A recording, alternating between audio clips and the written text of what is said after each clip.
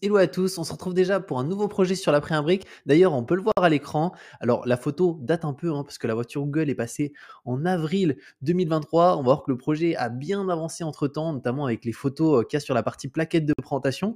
Donc, on est parti pour l'analyser. Juste avant, pour ceux qui n'ont pas un compte la pré-imbrique, je vous mettrai un lien en description qui vous donnera 1% de rendement sur le premier investissement. Et si vous avez déjà un compte, vous pouvez utiliser mon code ESB majuscule qui suffit d'indiquer dans la case code bonus en majuscule pour que ça fonctionne. Au niveau de ce projet, donc il sort ce vendredi à 10h, il est situé à Antibes dans le sud de la France et pour le coup, on est sur une construction d'un immeuble, il y a 8 appartements, il y a des parkings. Au niveau de la marge, on est sur une marge de 12%, ce qui est assez faible. Après, ce qui va être intéressant, ça va être de voir les prix de revente, à combien revend ici euh, le constructeur. On va le voir un petit peu après sur la plaquette. L'opération, elle est pré-commercialisée à hauteur de 67% du chiffre d'affaires. Donc, il y a 5 ventes déjà régularisées et un contrat de réservation en VFA signé sans condition suspensive de financement. On va de toute façon voir dans les détails tout ça. Ensuite, au niveau du taux, donc 11 plus 1,2 avec mon code bonus, donc 12,2. Euh, au niveau de la durée cible, on est sur du 8 mois. On a une caution personnelle du porteur de projet qui, on va le voir, est tout seul, et aussi une hypothèque de premier rang inscrite qui va être extrêmement intéressante et importante. Donc au niveau du porteur rapidement, donc Rémi, 64 ans, donc c'est une personne qui a une belle expérience, ça fait plus de 20 ans qu'il est dans le métier de, de la promotion immobilière à titre professionnel. C'est la première fois qu'il passe par euh, une partie euh, crowdfunding immobilier pour financer euh, ses fonds propres ici. Et concernant le financement, donc la première brique 446 000 et Rémi le porteur 402 000. Donc il met une grosse partie de, de son côté, de sa poche. Donc du coup, on va aller directement sur la plaquette de présentation. Alors je vais remonter un petit peu en haut. Donc ça, on l'a vu, collecte, rendement, durée, cible. Donc où est-ce que ça se situe? Bah, Vraiment, c'est à Antibes. Hein. On est juste ici. Donc on a Cannes beaucoup plus bas, Nice beaucoup plus haut juste là. Ici, on a les plans du département. Donc l'adresse, elle est juste ici. comme on l'a vu, hein, la voiture Google, elle est passée il y a pas mal de temps, en avril 2023. Donc euh, quand vous allez voir les photos, bah, c'est plus, euh, plus exactement ça. Ça a évolué entre temps. Mais voilà, ça situe, euh, ça, ressemble, ça ressemble à ça. Donc il y a, 8 appartements au sein de cet immeuble juste ici. Et après, on va avoir d'ailleurs sur la plaquette ici les, tout ce qu'on a à côté, donc les commerces, on peut voir Carrefour Market à 700 mètres, Casino 800 mètres, Vival 1 km 2, la partie santé, restauration et tout ce qui est euh, école ici. Donc école maternelle vraiment juste à côté, un collège à 1 km juste là et tout ce qui est loisirs. Là, on a l'environnement du projet, donc c'est au niveau de la population sur Antibes. Donc on voir, il y a une baisse de la population moins 3% sur 5 ans. Franchement, ça reste, euh, ça reste raisonnable. Là, on a une nouvelle fois l'environnement du projet. Si on descend les visuels juste ici, une nouvelle fois, et si on descend encore un petit peu plus bas, là, on va avoir les euh, rendus, donc de à quoi ça va ressembler. Et ici, on a les euh, visuels, du coup, un petit peu plus à jour que Google Maps, où finalement, bah, la voiture Google, elle n'est pas, est pas repassée depuis. Donc, on peut voir un petit peu à quoi ça ressemble. Donc, c'est pas totalement fini. Hein. Il reste encore des travaux sur ce projet, de secondes œuvres, peut-être un petit peu de gros œuvres. Je ne l'ai pas vu indiqué directement, mais pour moi, il y a certainement, en tout cas, du second œuvre, c'est sûr, hein, et aussi du gros œuvre pour finaliser peut-être certaines choses derrière au niveau du terrain ou autre. Si on descend un petit peu plus bas, donc là, on peut voir l'intérieur d'un des appartements. Où est-ce que ça se situe? Donc là, c'est le 0209. Et ici, le bilan prévisionnel, très important. Alors là, en fait, il y a une particularité, c'est que au niveau de ce foncier, bah, il a été payé 1 80 000, mais il faut savoir que vu que c'est des appartements qui vont être vendus ben, un petit peu séparément, nous en fait on va avoir une hypothèque de premier rang, non pas réellement sur le foncier, étant donné qu'en plus il y a déjà des appartements vendus, donc les personnes qui ont des appartements vendus, en réalité c'est un petit peu leur terrain aussi, donc on va avoir une hypothèque de premier rang sur des lots qui sont pas vendus. Donc ça va être sur trois lots. On va avoir lui à 441 000, lui à 387 000 et aussi sur le contrat de réservation. Donc je regardais tout à l'heure au niveau de l'hypothèque et de la couverture hypothécaire euh, qu'on a sur ce projet, on a trois lots. Donc les trois lots, ça fait 1 69 667 euros. Donc on a une couverture hypothécaire de euh, quasiment 240% donc bien au-dessus de 100%. Donc ça, c'est quand même un super bon point parce que finalement, ça couvre à la fois la collecte et largement les intérêts à ce niveau-là. Ensuite, le prix de sortie, 5294 euros hors taxe. Donc on l'a vu, la marge au niveau de, ce projet en termes de promotion, elle est 12%, donc c'est pas une très très grosse marge. Par contre, ce qui est intéressant, c'est le prix de sortie. On va le voir par rapport au prix bas, au prix moyen, au prix haut, où est-ce que ça se situe. Et pour le coup, ben, on n'est pas dans des prix voilà, qui sont hauts ni très très élevés, ce qui est aussi euh, qui, fait, comprendre que bah, la marge elle est de 12% parce que c'est pas des prix très très élevés. Si on descend un petit peu plus bas, donc là on a un petit rappel sur le foncier juste ici. D'ailleurs c'est assez intéressant, ils indiquaient que finalement Au début, c'était, bah, la personne qui avait le terrain qui souhaitait, faire ce projet et au final, heu, bah, que c'était assez complexe et que de faire un projet comme ça, de promotion et donc finalement que ça a été revendu directement ici à ce porteur qui est, heu, bah, beaucoup plus expérimenté pour faire, heu, pour faire ce projet. Si on descend, donc là on a un petit rappel, donc c'est de la promotion. Il y a 8 appartements en cours de finalisation, donc du gros et seconds œuvres et concernant les travaux, donc on peut le voir, il y a 1 545 000 € hors taxes de travaux et d'ores et déjà réalisés à hauteur de plus de 90% Donc on est sur la fin des travaux, il y en a encore, mais en tout cas, on n'est pas sur les débuts où il faut poser les fondations, et cetera. Ces, travaux donc couvrent la démolition de la maison initiale et la construction de l'immeuble de 8 appartements érigés sur un sous-sol de parking. L'intégralité des, travaux est réalisée par différents corps d'État, permettant ainsi d'optimiser les charges liées aux différents prestataires.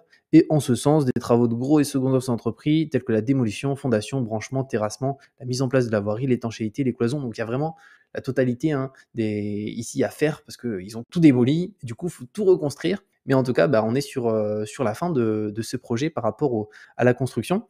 Par rapport à l'urbanisme, donc euh, tout a été euh, purgé.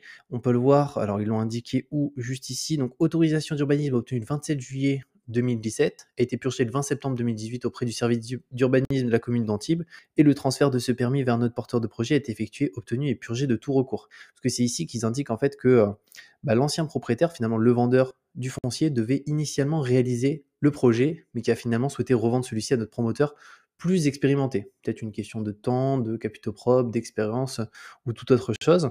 Maintenant, l'urbanisme, donc euh, permis de, construire, ça a été obtenu, ça on l'a vu. La commercialisation, donc il y a 75% en volume, 76% en chiffre d'affaires, et on peut voir du coup 5 attestations de vente en VFA signées et un contrat de réservation en VFA signé, où euh, celui-ci, ben, il n'y a pas de conditions suspensives. Ça, c'est quand même un bon point.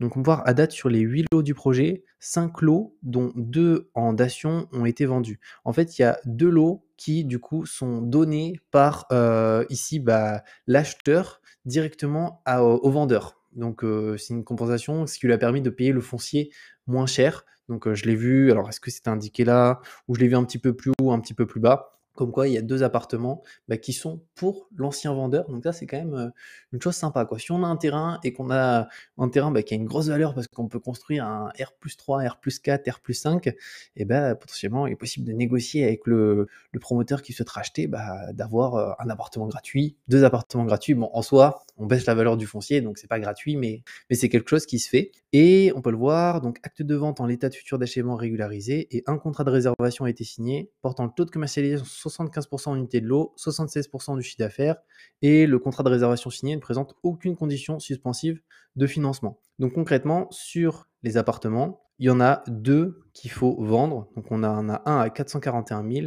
un à 387 000. Donc c'est sur ces deux-là qu'on a une hypothèque de premier rang. Et aussi celui où il y a déjà un contrat de réservation sans condition suspensive qui est à 241 000. Si on descend, alors là, euh, bah, on l'a vu la commercialisation, le prix de sortie, donc là, très intéressant. Au niveau du prix de sortie, on est à 6 352 euros. Donc on est concrètement dans les prix moyens du marché, mais il ne faut pas oublier que c'est du neuf. Donc souvent le neuf euh, cote assez cher. Et on peut voir ici, ils ont pris les prix, prix de, du marché pour des biens appartements. Donc il y a à la fois du neuf, des biens aussi dans l'ancien. Donc au final, 6 352 euros par mètre carré, bah, c'est dans la fourchette moyenne. Par contre, ce qui est bien, c'est que c'est la fourchette moyenne avec euh, bah, une prestation euh, de quelque chose qui est euh, tout neuf. Donc en fait, les acheteurs, ils ont la garantie biennale, garantie décennale pendant 10 ans. Donc ils ont aussi des avantages euh, bah, non négligeable en fait dès qu'on achète du neuf, un peu comme quand on achète une voiture au final où on va avoir une garantie constructeur, etc. Après, si on regarde un petit peu plus bas, qu'est-ce qui nous indique? Donc plus de 5 personnes sur 10 ils sont propriétaires de leur logement. Cette statistique permet de déterminer quel type d'acquéreur ciblé et l'évolution du marché immobilier local, donc 27,5% entre 2017 et 2022, donc forte croissance de la pression immobilière sur la commune. Et je regardais ici rapidement sur Meilleur Agent. Donc là, on peut voir un peu les prix moyens constatés sur les appartements, sur les maisons. On le voit avec la première brique, à chaque fois qu'on regarde l'évolution des prix dans le sud de la France, et ben en fait, ça n'a pas réellement baissé. Il y a beaucoup d'endroits où ça a baissé, ce qui est le cas moi, vers où je vis, à Bordeaux, ça a beaucoup baissé quand même. Mais le sud de la France, bah, c'est vraiment une zone où on dirait qu'il y a plein de gens qui, continuent d'aller vivre dans le sud, ce qui fait que les prix bah, continuent de monter. Hein. Sur un an, 4,5%, 2 ans 7,7%, etc., etc. Donc ça, c'est l'évolution du prix de vente des annonces sur Antibes. Donc là, c'est pour les appartements donc 45 à 110 mètres carrés. Donc au niveau de l'évolution des prix de vente, voir sur 3 mois, sur 12 mois. Nouvelle fois l'étude du marché juste là. Notre porteur, donc Rémi, juste ici. Donc on va le voir, il fait ce projet avec la société 2J2M Promotion et aussi il avait du coup une société qui était la société Nice Gatière, donc où il n'était pas tout seul, où il était associé à une personne qui pour le coup malheureusement bah, a décédé brutalement. C'était le précédent dirigeant. Et cet événement tragique a malheureusement compromis l'activité de la société qui est aujourd'hui en liquidation. Donc c'est pas la société avec laquelle le projet euh, est fait. Hein. Donc là, c'est une autre société. Mais à la première brique, ils nous l'ont ajouté. Donc nous vous communiquons cette information par souci de transparence et nous attirons votre attention sur le fait que cette société ne présente aucun lien capitalistique avec la société emprunteuse dans le cadre de cette opération. Et la société du coup de J2M, donc là Rémi par contre il est 100%, euh, il a 100% du capital social, donc il est tout seul dessus à travers sa société holding Méditerranée Real Estate Promotion. Donc ça a été créé, elle a été créée en 2018, donc c'est pas son premier projet. L'étude des comptes de la société ne fait ressortir aucun point d'attention particulier. Donc ici on a quelques informations concernant sa société. On va pouvoir voir notamment bah, les capitaux propres, les dettes. Donc là, on est quand même au-dessus du rapport dette capitaux propres x3. Donc en général, les sociétés de marchand de biens, de promotion immobilière, etc. S'imaginons, ils ont 1000 euh, euros de capitaux propres. S'ils ont jusqu'à 3000 euros de dettes, elles sont endettées, mais ça reste raisonnable. Et après, dès qu'on est à x4, x5, x10, ça peut être même x100, ça arrive hein, de temps en temps des sociétés de marchands bah, qui sont hyper endettées parce qu'elles ont fait tellement de projets et en fait, elles n'ont pas encore vendu leur stock ou une partie de leur stock n'est pas encore vendue ou terminée, etc.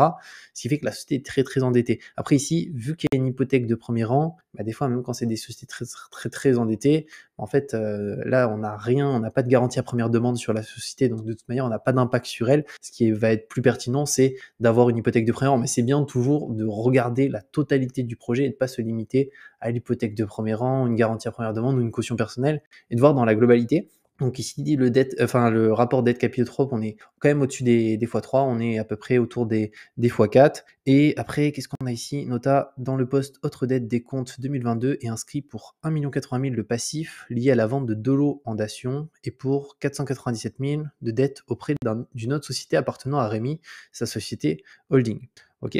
Si on descend, on a son historique, donc la construction d'une résidence à Metz composée d'appartements allant du T2 au T6, juste là, donc c'était livré en novembre 2021, c'est un projet qui est terminé. Et les garanties, donc il y a une caution personnelle euh, du porteur qu'on peut voir 535 000, et on a surtout hypothèque de premier rang ici sur ce projet, et euh, qui permet une couverture hypothécaire, donc 240% du montant financé, calculé sur le prix hors taxe non vendu à date. Donc euh, pour rappel, L'hypothèque de premier rang, elle est du coup sur les trois lots. Donc, euh, elle est sur le lot qui est euh, avec un contrat de réservation sans condition suspensive, le lot de 73 mètres carrés ici et le lot de 91 mètres carrés juste là. Parce que je voulais vérifier tout à l'heure, est-ce que c'était bien celui-ci Et c'est ça, ça correspond à. Voilà, bah, si c'est 240%, c'est un peu. Oui, c'est 249, 240% de couverture hypothécaire. Donc, durée cible, ils, ils indiquent 8 euh, mois juste là et durée maximale 16 mois afin d'anticiper des aléas de calendrier imputables à la finalisation des travaux ou de la commercialisation, nous préférons prévoir une échéance maximale de remboursement plus longue.